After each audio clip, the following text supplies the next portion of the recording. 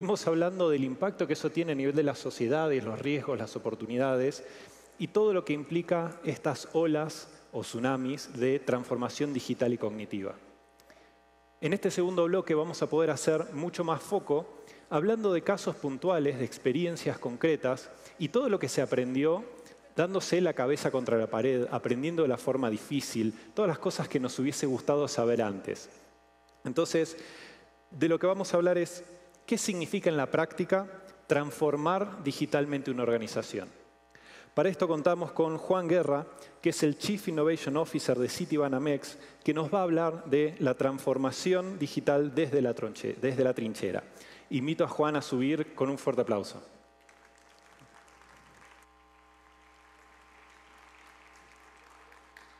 ¿Qué tal? Gracias por invitarme.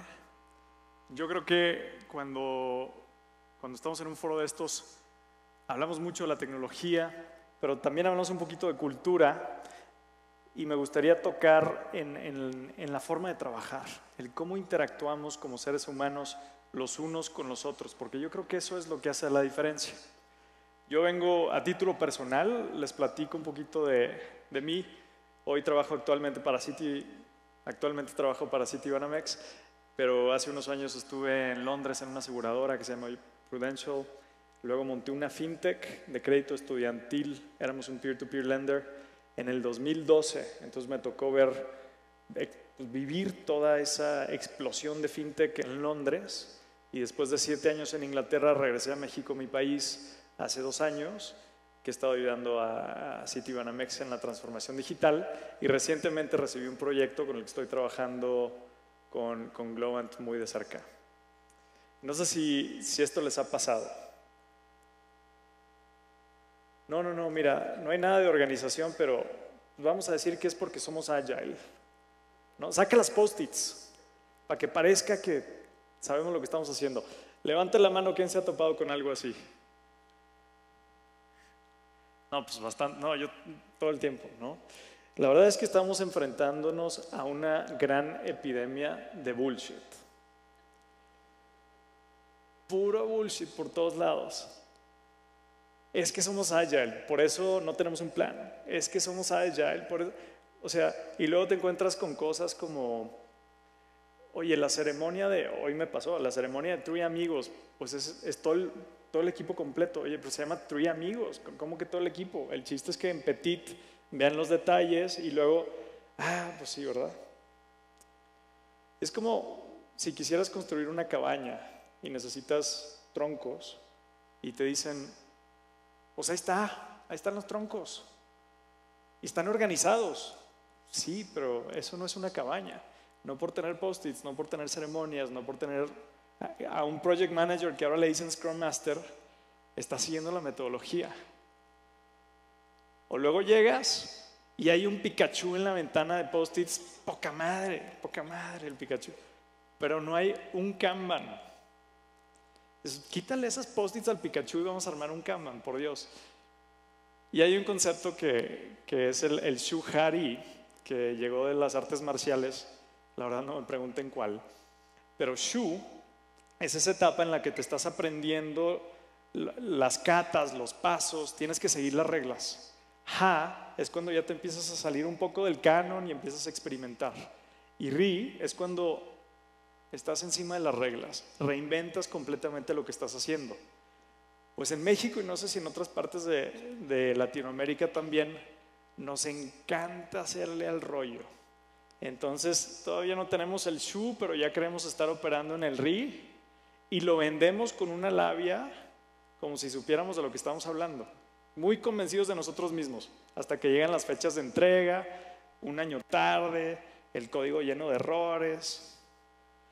Y digo, oye, ¿por qué hacemos eso? ¿Por qué hacemos eso si para Scrum hay unos básicos bien claritos? Tienes 12 principios, tienes valores, tienes el 353, pero la gente como que le da flojera googlearlos a ver de qué se tratan, o meterse a ver el video de Spotify o lo que tú quieras.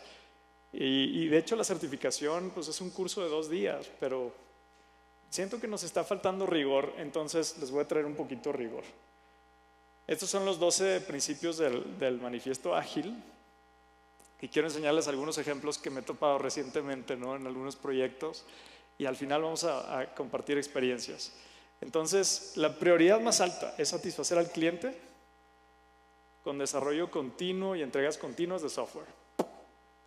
Hay que entregar software que funciona continuamente, frecuentemente, de entre dos semanas y dos meses. Entre más cortos los tiempos, mejor. Y tu unidad de, avance es el software funcionando. ¿Ok? Está claro, ¿no? Y nosotros somos bien agile en el proyecto que yo traigo, seguimos Scrum al pie de la letra. Pues este, este es un caso verídico de un timeline de entrega de algo que es bastante básico. Dices, ¿cómo, cómo? Esto no son ni dos semanas, ni dos meses, ni cerca. O le reportas al jefe, oye, sí, esta semana súper productiva. Me reuní con fraude, le cambié el estatus al proyecto a ámbar. Proyectos siempre están en ámbar. Y le eché muchas ganas. Ah, y el software funcionando, ¿dónde está? O estos. Construir proyectos con individuos motivados y darles las herramientas necesarias para tener éxito y no les estés haciendo micromanagement. O el, desarrollo ágil promueve, bueno, debería ser sustentable en el tiempo. Los desarrolladores, los sponsors, todo el mundo debería ser capaz de mantener el mismo ritmo de trabajo indefinidamente. Pero ¿a qué nos enfrentamos? Oye, pues tú que eres tan listo y le entiendes a la Agile, ve y dale la vuelta a este proyecto, y no me pidas más recursos y no me des mucha lata. Buena suerte, confiamos en ti. Espérame, déjame hacer un diagnóstico de qué le duele al proyecto y en función de eso decidimos si se requiere más personas, se requiere menos personas o más atención para eliminar los impedimentos. Recuerden que las transformaciones de las organizaciones son top-down. Tener el bottom-up es bien útil, ayuda muchísimo, pero sin el top-down no sirve de nada. No puede ser que el equipo de tecnología esté trabajando en Scrum y el top management no. Esto tiene que ser top-down, desde el CEO hasta abajo. O la otra, oigan, tiempo extra, saquen el FUA este mes y, ya, ¿no? Y este mes se vuelve este año y la gente renuncia y a todos nos divorcian y no es sustentable, no es sustentable. Las mejores arquitecturas vienen de equipos autogestionados. Y en intervalos regulares, los equipos reflexionan sobre qué pueden mejorar. Ah, pues bien fácil. Les compramos pizza y cerveza y, que platiquen. ¿Quién está harto de la pizza y la cerveza? Yo soy intolerante al gluten y a la lactosa. A mí me matan con esa cosa pero nadie me preguntó. Yo quiero tacos, tacos y pulque. Muy bien. Eh, la gente de negocio y, los desarrolladores deberían estar trabajando juntos en el proyecto. La manera más eficiente de comunicarse es cara a cara. Y sin embargo, por favor levante la mano a quien le ha tocado esto. Esto no es cara a cara, señores no es cara a cara.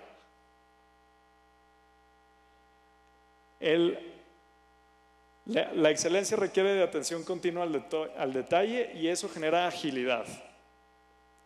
Y bienvenidos los cambios, porque eso quiere decir, pues el mercado es cambiante, eso quiere decir que si cambiamos estamos entregando más valor. Y sin embargo, ay, un error de código, ay, y luego vas con tu socio de tech y te dice, uy, change request, sí, sí, aquí se puede cambiar a la hora que tú quieras, nada más que te cuesta más. O sabes que yo defino cuánto cuesta un story point y yo decido cuántos story points trae cada historia. O sabes que yo creo que te hace falta el senior agilista que coachee al agilista que va a coachar al Scrum Master. ¿Cómo ves? Pues no, señores, trabajemos como socios. Entre más personas metemos un proyecto, más complicada es la comunicación, menos eficiente todo y más errores tenemos.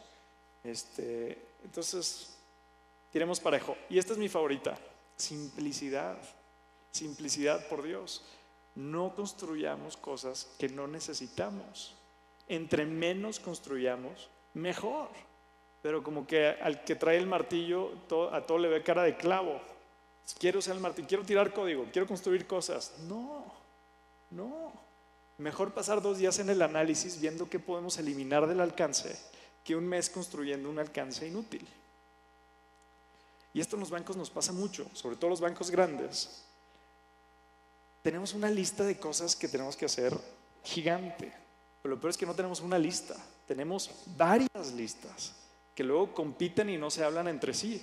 Entonces, pues el, el del canal móvil tiene su lista de prioridades, el de la banca electrónica tiene su otra lista de prioridades, el del middleware tiene una tercera lista de prioridades y los 85 backends tienen otras listas de prioridades.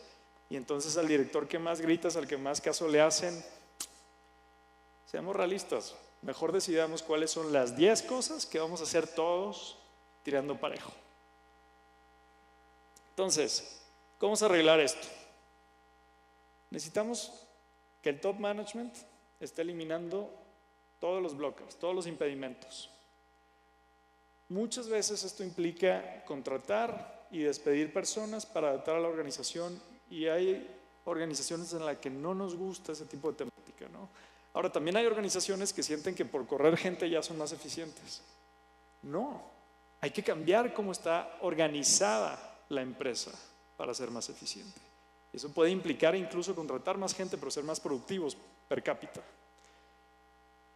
La ubicación en un solo lugar es fundamental. La calidad de la comunicación es fundamental. Por eso Jeff Bezos insiste tanto en los two pizza teams, para que no sean demasiada gente, no se complique la comunicación, que todo el mundo puede estar sentado uno junto al otro. Solo construir las cosas necesarias y priorizar desde arriba hacia abajo las cosas que se van a hacer en orden. Tenemos esta falacia del multitasking para evitar los tiempos muertos. No se puede hacer multitasking. Hay, por ahí un estudio que dice que cuando haces dos cosas a la vez, pierdes un 20% de, de, efectividad porque estás en el switching, pierdes esa eficiencia, entonces eres 80% productivo. Cuando haces tres, pues perderás el 33%, entonces eres un 66% productivo, ¿no? Entre más multitasking, peor. Y finalmente hay que hacerlos de la forma correcta. En México nos, nos gusta soñar que estamos acá y somos los superagilistas, pero esto lleva poco tiempo en México. Hay que, hay que amarrar el shoe, hay que hacernos maestros de lo básico antes de querer hacer cosas más estratosféricas, porque no lo estamos haciendo muy bien en muchos lados. ¿no? Y, y, finalmente eso de, las, de los atajos y la deuda técnica luego nos deja como, como aquellos países que viven pagando los intereses de la deuda externa. Ya llega un momento que no puedes seguir desarrollando porque lo que haces es apagar fuegos todo el día de la deuda técnica que, creaste ahí abajo. ¿no? Entonces, pues me gustaría solicitar su apoyo para luchar contra esta epidemia del bullshit y con eso pues los invitaría a googlear los valores del Scrum. Valor, foco, compromiso, respeto y apertura. ¿Cuántas veces, oye, este, tenemos un problema? No, ahorita no lo digas, vamos a ver si lo podemos resolver, pero no lo digas porque levantas la mano, dices, creo que tengo un problema, lo voy a analizar, pero te quiero dar un aviso, esperemos que no sea nada. El 353, tres roles, cinco eventos, tres artefactos. Y cuando hagamos esto muy bien, habremos acabado con la epidemia que hoy nos cuesta tanto trabajo. Y bueno, tengo unos minutillos, me encantaría, si tienen tiempo y ganas, de iniciar una charla informal preguntas y respuestas, lo que quieran compartir. Este, seguramente yo soy el que menos sabe de todos los que estamos aquí, pero veo gente ahí que le sabe muy bien al tema, que nos pueda también compartir sus experiencias. Muchas gracias.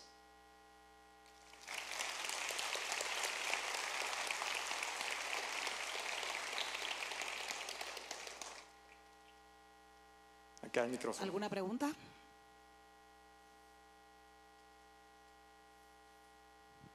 Hola, muy buenas tardes. Este, mi duda principal es cómo manejas el choque de la cultura actual laboral con la cultura ágil.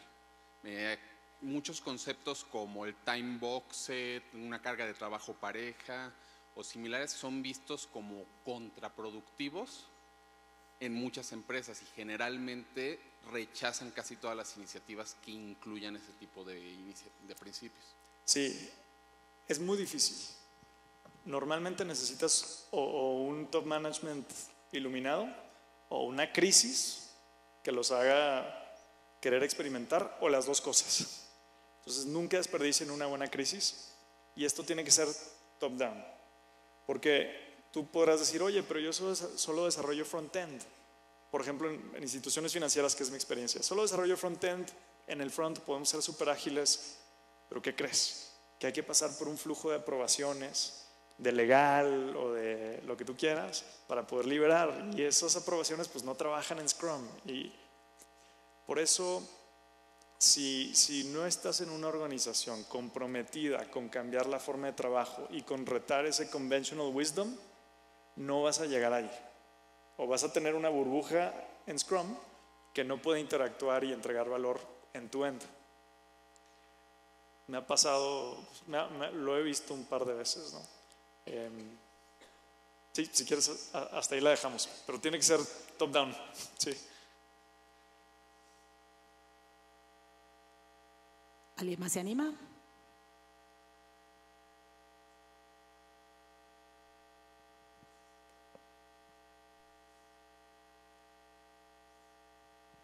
Hola, ¿qué tal? Buenas tardes.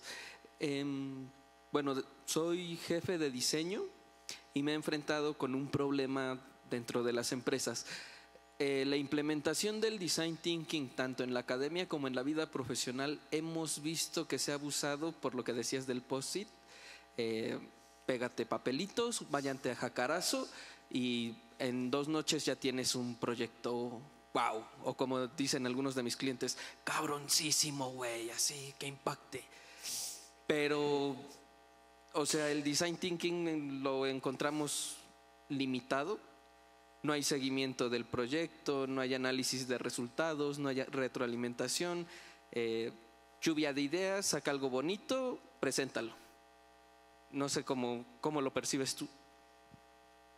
100%, eso es un síntoma claro de la plaga del bullshit que nos aqueja. Eh, estamos los godines en nuestra oficina y de repente nos sacan un día o dos a pegar post-its en la pared y regresamos súper inspirados al trabajo y el día siguiente es igual que hace dos días y ahí se pierde todo. Vuelvo a lo mismo, yo creo que va a ser muy fácil para mí usar esto de excusa, pero tiene que haber top-down hay compromiso top-down por cambiar cosas.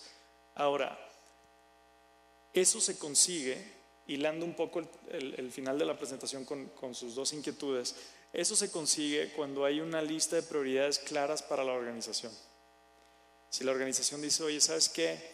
Pues tenemos que hacer ocho cosas del BAU y tenemos espacio para dos cosas especulativas. Hagamos un taller de design thinking y descubramos cuáles son los dos proyectos especulativos de 10 que queremos impulsar este año. O sabes que de las ocho cosas que tenemos que hacer en el BAU, hay que descubrir otra forma de hacerlas. ¿Por qué no las replanteamos? ¿Por qué no hacemos un taller de design thinking? Ahora en México tenemos la gran fortuna de usar a los países fríos y a otros países como laboratorios. Vemos qué funciona en otros países y lo podemos copiar.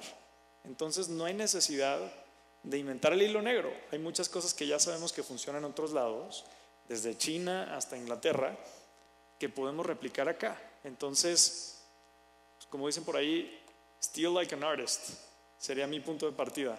Oye, sí, que es que los directores quieren tirar los post-its y quieren sentir que tienen grandes ideas. Señores directores, ni se desgasten. Gente más inteligente, más sofisticada que ustedes ya tuvo una buena idea, ya la ha valido en un mercado. Ahora ustedes descubran cómo tropicalizarla a la realidad del país.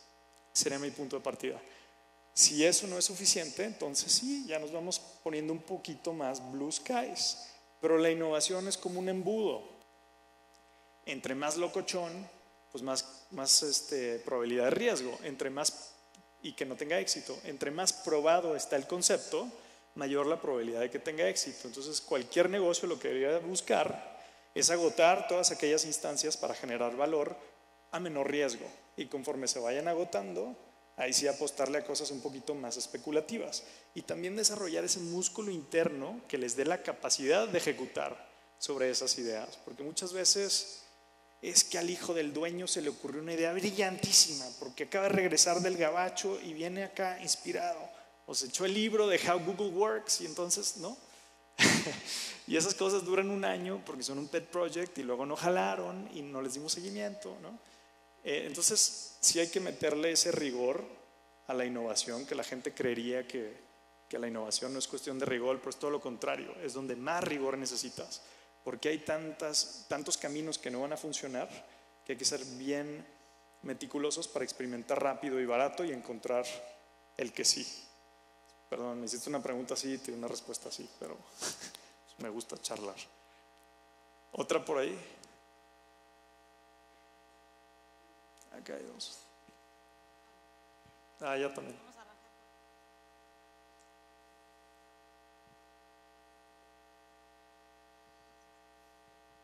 Buenas tardes. Hola, hola. De mi experiencia con el sector gobierno como consultor, eh, me tocó la liberación de ciertos proyectos. Lo que sí me di cuenta es que al principio no funcionaba la liberación, o sea, ya meterlo a la caja, porque hay muchas áreas que tienen sus propios intereses. Y una de las cosas que sí me funcionó fue ir y sentarme con una área y decirle, tú eres importante, necesito que me proporciones tus ideas con respecto a lo que necesito para liberar. Iba con otra área, el mismo, el mismo idioma, lo mismo le decía.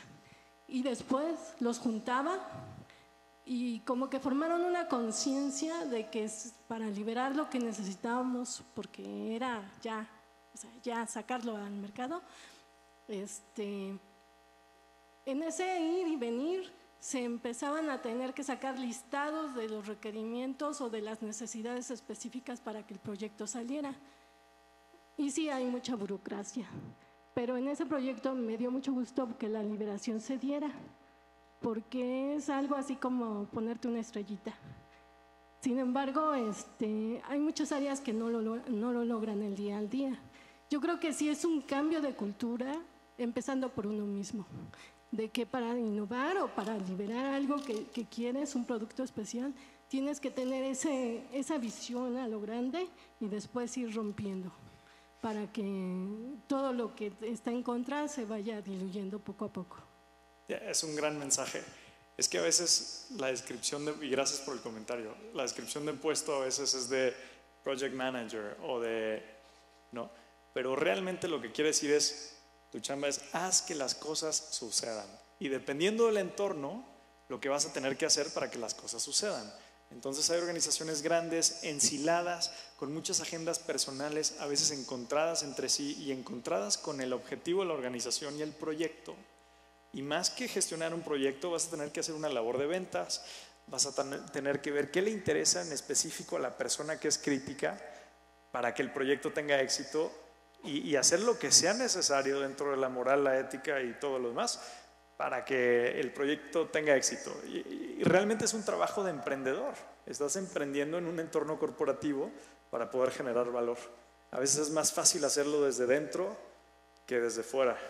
Yo ya he vivido en las dos y sí es más fácil desde fuera, pero el sueldo es mejor adentro. Entonces, si no tienes un buen éxito, pues vas, te recuperas y luego emprendes vuelo otra vez. Creo que tenemos espacio para una más. Última pregunta por acá. Sí.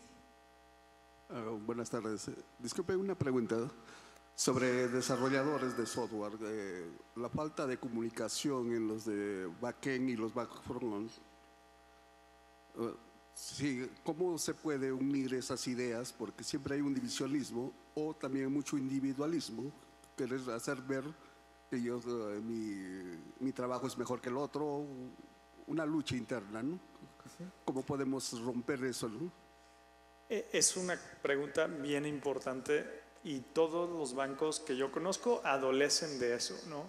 Tienes código súper antiguo, cualquier cantidad de sistemas y hay dos personas que le entienden en todo el banco. Pues esos dos son los que controlan al banco y ese es su coto de poder y esa información no la van a compartir. Y ahí, híjole, sobre todo, por ejemplo, para, para gente de Globant que viene a querer ayudar a los bancos a generar nuevas experiencias que luego dependen de estos cotos, de gente con estos cotos de poder, es bien complicado.